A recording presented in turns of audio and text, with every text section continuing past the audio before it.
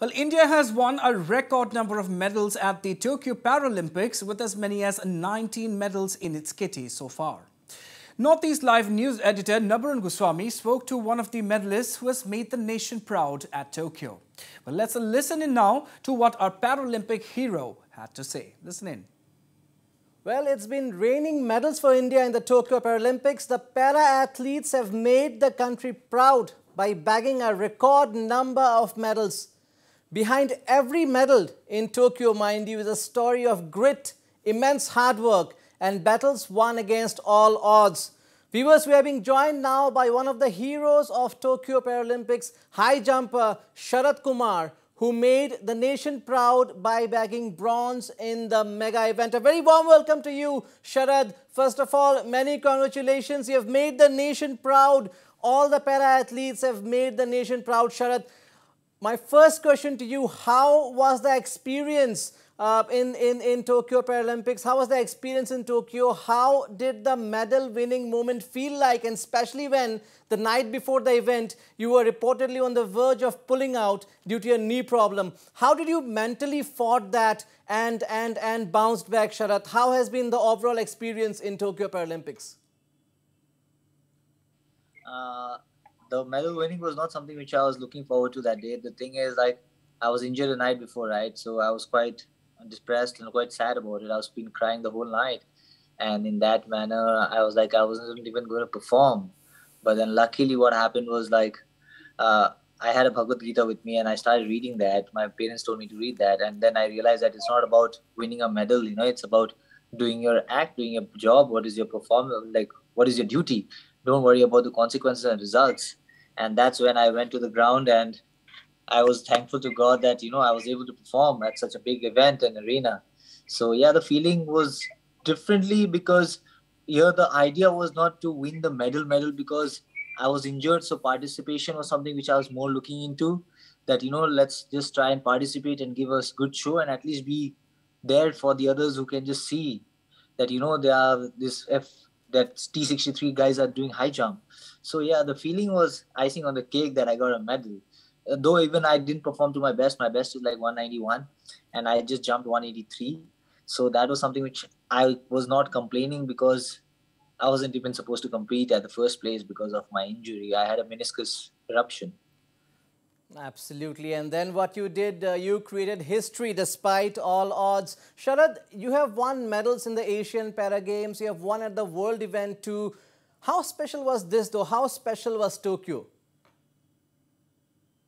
See, World Para Para Asian Games, World Championship Athletics. It's got to be very small, like because it's only athletics. But when you go for some events like this, you don't want to be like the one trying to see that you know it's an event.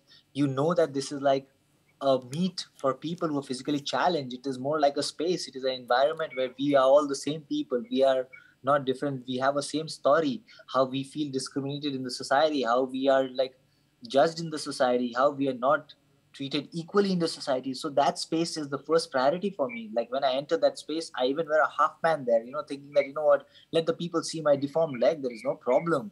But anywhere else, I I feel little obliged and a little shy and like not shy, just uh, little shy to wear half shots, but there it was not such. So in that way, the thing is like uh, the performance is quite well. Uh, the Paralympic Games is a big game, of course. There's so many athletes coming, and everybody has their own stage, and there's so many different performances happening.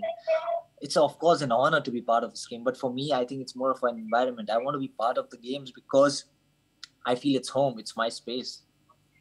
That, that also brings me to my next question, Sharad. Tell us something about your journey as an athlete, your early days. How challenging has it been? Uh, when did you decide you want to become a professional athlete or was it just a passion that developed uh, uh, later? Did your family support you from the very beginning? Tell us something about that.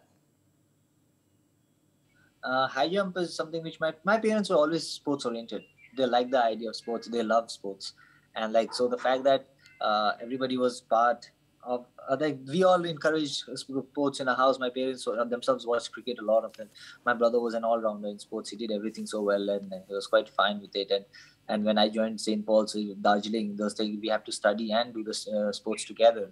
And that's when I realized that all right, let's just take it up. And you know, high jump was not something which I wanted to make a profession or a goal out of it. It was just something which I loved doing. And slowly I realized that you know what people love doing can automatically become a profession because it starts paying you for it and starts giving the popularity. But till now I haven't taken it as my profession. I like it as a passion. Absolutely. Passion is the key. Uh, Sharad, as a para athlete, has the journey been a bit different and, and more challenging for you? Uh, or how do you look at it? Uh, it is of course challenging because the society is still not accepted. You see, the motto of the recent Paralympic Games was 15, we the 15. What is implies we the 15% of the world who are physically challenged, mentally challenged, who are all having different disabilities in them. So it's about that. So the, we are trying to promote the fact that you know there are 15% of us, and we are all trying to like get equal space. It's not easy for a para athlete. Of course, only the government has come ahead. You know, this is the first time. It's so amazing that the government is ahead of the private inquiries to support the para athletes. It never happens that any progress comes first from the government. It never, but this is what it is happening now in our country that the government is leading the way for the athletes. Sharad, uh, my last question to you. What is your message to fellow para athletes, all budding athletes, to everyone? So here the message is not just for the athletes, it's for the people, the world, that the world is going through a certain un- un- unprescribed conditions like the like the coronavirus. So things are not very simple. It's not very.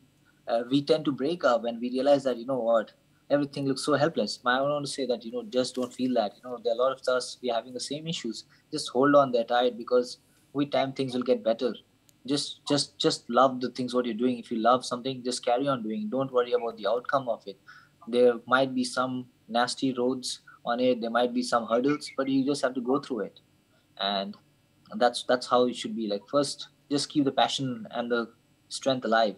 Absolutely. Keep the passion and the strength alive. Thank you so much sharad kumar. Wish you more success in life